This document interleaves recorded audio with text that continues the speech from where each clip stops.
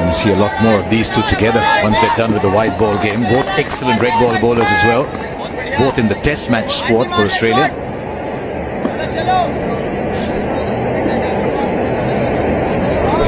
For the next idea. Oh, he's got hold of that all right. That's come out of nowhere and gone for.